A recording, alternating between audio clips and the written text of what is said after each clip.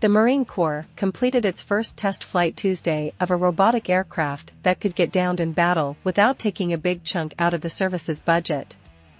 The service received the first of two XQ-58A Valkyrie drones in March as part of its efforts to develop lower-cost unmanned systems, according to a Marine News release Thursday. The test flight Tuesday was an early step toward getting the robot aircraft ready to fly in support of Marine Corps missions. The aircraft performed as expected, the Corps said, without providing additional details about the results of the flight. Video of the flight posted by the Marine Corps on Thursday shows the uncrewed jet, which doesn't require a runway, take off at Eglin Air Force Base on Florida's Gulf Coast. In the video, the drone emits a fiery colored plume as it creeps upward at an angle. The Valkyrie, which clocks in at approximately $6.5 million, according to the manufacturer, could be a relatively low-cost way for the Marine Corps to build out its inventory of uncrewed aircraft.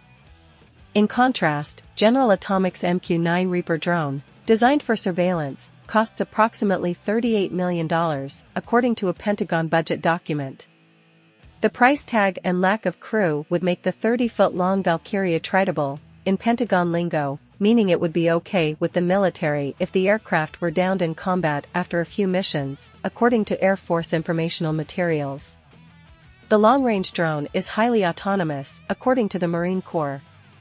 In other words, more than being simply uncrewed, the Valkyrie can be flown by artificial intelligence and requires minimal help from a human pilot. The Valkyrie could fly in a variety of missions that crewed aircraft would otherwise complete, according to the Air Force, and could serve as a wingman to a traditional crewed aircraft.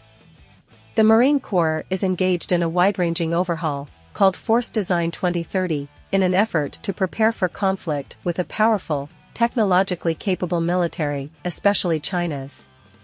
That effort involves getting robots and drones into the hands of Marines, and training Marines to operate them. The test flight Tuesday occurred as part of the Marine Corps' Penetrating Affordable Autonomous Collaborative Killer, portfolio program, according to the news release. The Corps is partnering with the Office of the Undersecretary of Defense for Research and Engineering, the Naval Air Systems Command and the Naval Air Warfare Center Aircraft Division on the Valkyrie. In Norse mythology, a Valkyrie is a supernatural maiden who selects those to be slain in battle and taken to Valhalla, where those slain warriors reside. The manufacturer of the XQ-58A Valkyrie is the U.S technology company Kratos, which takes its name from the personification of strength and power in Greek mythology. The test flight Tuesday wasn't the first overall for the Valkyrie drone. The Air Force, whose research laboratory developed the aircraft in partnership with Kratos, conducted the inaugural test flight in March 2019.